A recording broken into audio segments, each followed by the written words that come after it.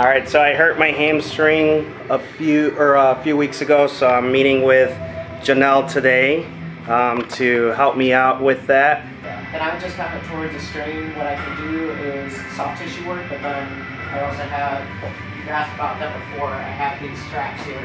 Oh, nice. Which will be when I put your legs under basically and like stretch you, stretch you passively.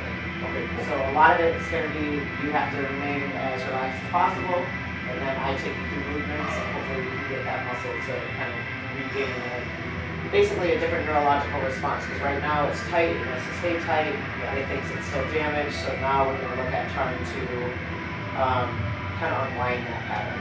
Because I've also been trying to work on my mobility, but I noticed like it is better, but it's just like not Yeah. your normal. And it's a totally different response when someone else is doing it to you versus when you're trying to do it yourself. Because you're always going to be a little more cautious. You're not going to go past like a certain threshold. Mm. So when someone else is doing it, you can kind of push that threshold.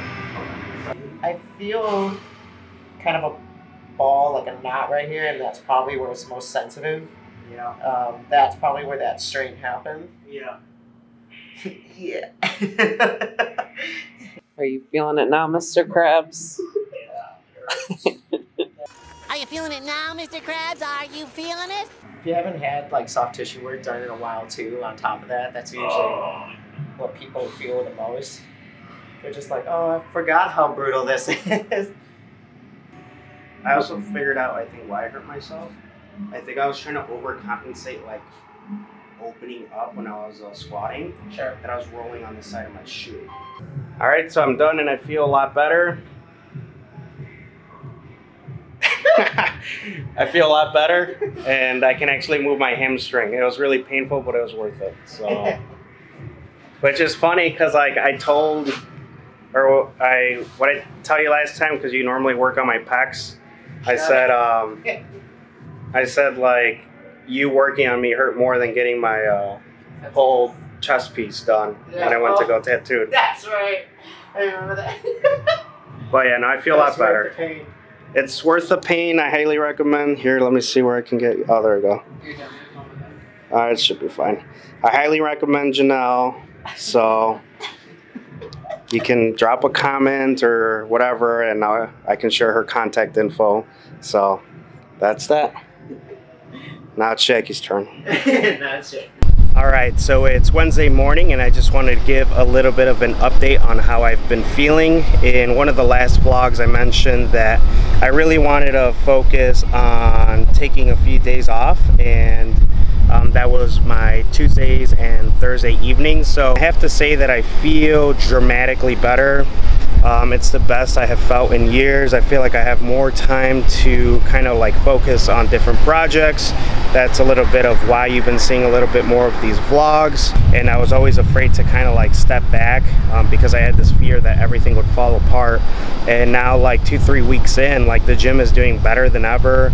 Everything's running extremely well. I feel better. Like, you know my relationship with uh, Jackie feels better. And um, on top of the vlogging I'm also um, doing a little bit more with boxing. So um, that's gonna be interesting.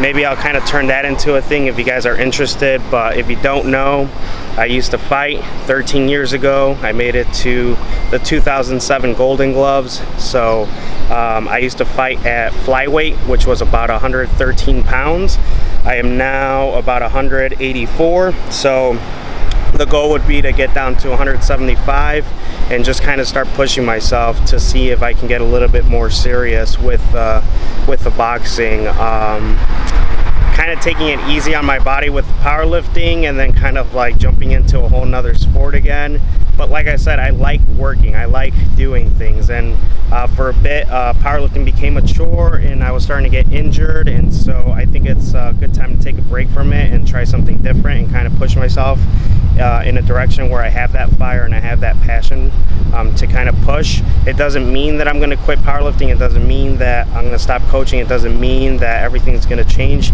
It just means I want to try something different. And I think that's okay. I think a lot of us tell ourselves that uh, we can't like you know, at 28 years old, like switch and switch things up and do something different. Like I think people are really stuck on like, oh, I've done this uh, this way for all my life. Like I got to keep doing it. Like no, you can switch things up.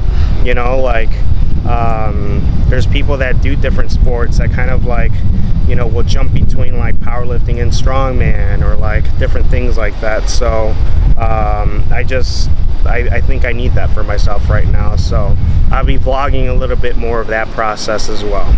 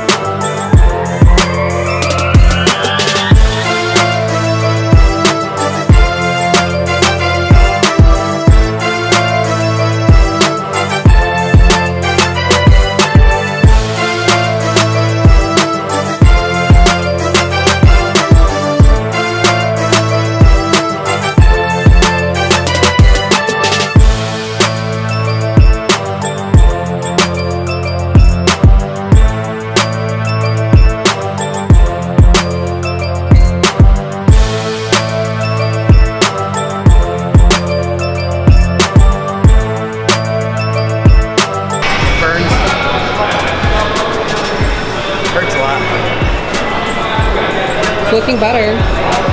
Looking faster. Yeah. Uh, the better my conditioning's getting, the less sloppy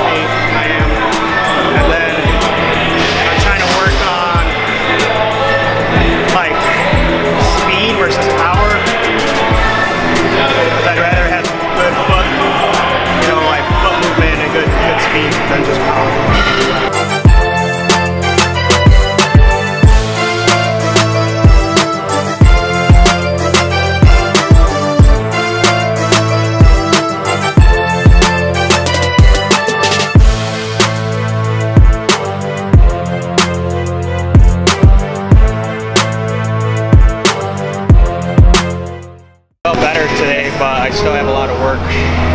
Um, like my footwork, I can feel like my footwork's really missing, so I really want to work on that. And then my, my hook was better today, my conditioning was better today. I've been running like a mile every day this week and then shadow boxing. So I know a lot of it's gonna come from me focusing and like doing my shadow boxing and working on my technique. Not just trying to hit the mitts or not just trying to hit the heavy bag. And like I gotta work on like pulling the power a little bit because I'm trying to like hit too strong and just kind of work on like snappy movements. And like, I, I know I can do it. I just gotta get back